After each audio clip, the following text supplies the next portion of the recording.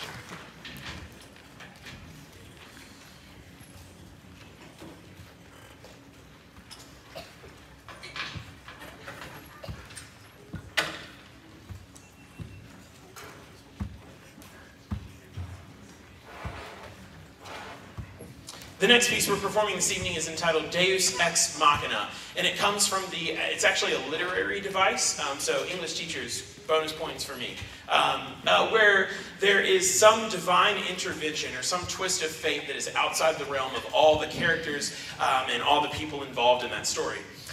Musically, Deus Ex Machina is uh, an interesting piece. Basically, the divine intervention that we're going to be playing along with um, is a backing track. Once that track starts, we have no control over it. It just goes. Um, so our job is to allow this divine intervention, the backing track, to happen, um, while the musicians that we have in our group add to it. Um, kind of a nod to the idea of uh, fate is what it is, and it's more about what you do uh, with the circumstances that you're given in life. Um, so this is Deus Ex Machina.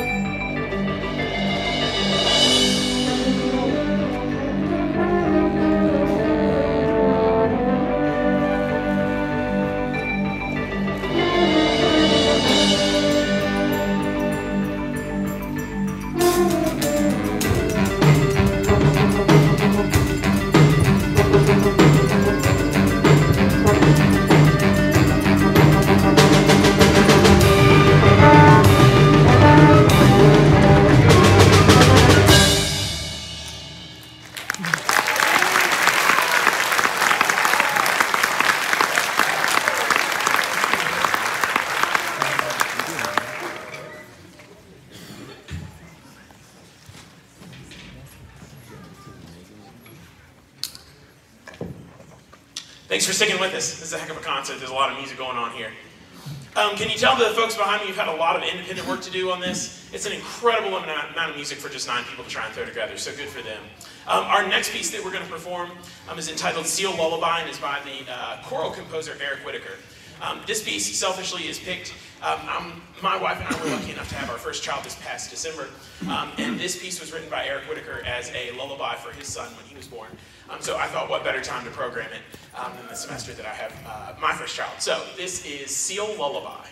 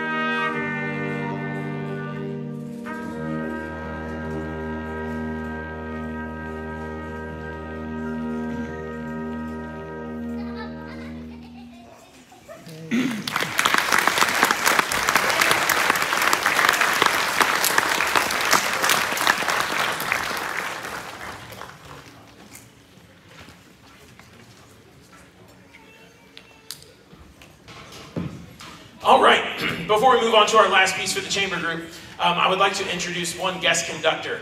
Um, as I aforementioned, uh, I've been, uh, uh, sorry, my wife and I had our first child this uh, past December, and so I've been lucky enough to be able to leave uh, for some paternity leave uh, at the end of this semester. Um, these kids have still been putting the work in behind the scenes without me, and that is in no thanks to my long-term sub, Mr. Mike Myers. Mr. Mike Myers was a band director in this area for a number of years, um, and then uh, since retired from that job, um, I decided to uh, rope him back in to uh, fill my spot when I was gone. The last piece the chamber ensemble is going to play is entitled Arabian Dances and features our guest conductor and my long-term sub, Mr. Mike Myers.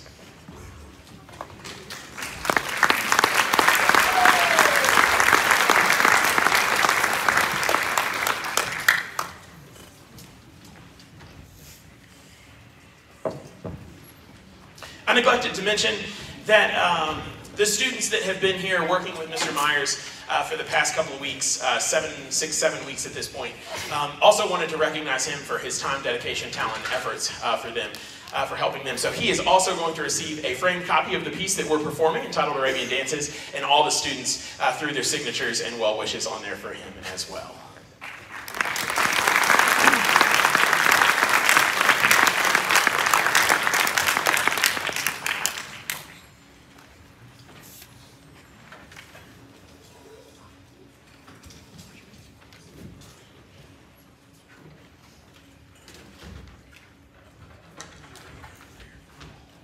Like any good musician, he can't resist an open mic.